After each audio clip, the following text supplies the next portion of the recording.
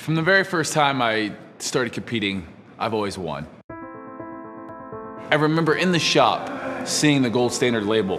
Plain, simple, what you saw was what you get.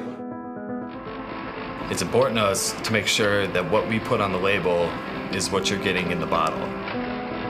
We work hard to make sure that when we put 24 grams of protein, 4 grams of carbs, and 1 gram of fat on the label, that that's what you're getting in the bottle.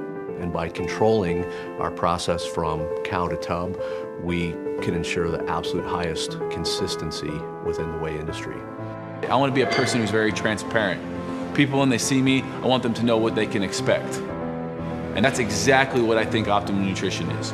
Some of the best advice I've gotten in life is really mirrored by what the Gold Standard Whey product is about. And that's, that's really about trust. You know, it takes time to build trust. And it takes just a moment to, you know, de deteriorate trust. When I came on board with this company almost 16 years ago, I immediately saw integrity in an industry that has, you know, uh, maybe not always the highest level of integrity. In terms of our quality management system, it's definitely second to none. It's the most comprehensive quality management system that I've seen in the industry in the last 10 years.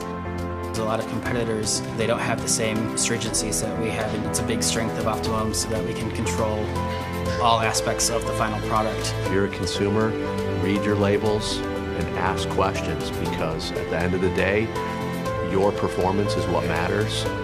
We're here to make sure that your performance is supported.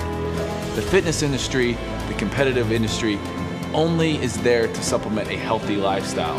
When I hear of no compromise and think of optimum, I'm thinking that what I'm reading on the label is what's going in that product, and we're making sure that it's, it's going to be the best product on the market. We named our number one bestseller 100% Whey Gold Standard because it is the gold standard of whey protein. You get out what you put in. You put in hard work.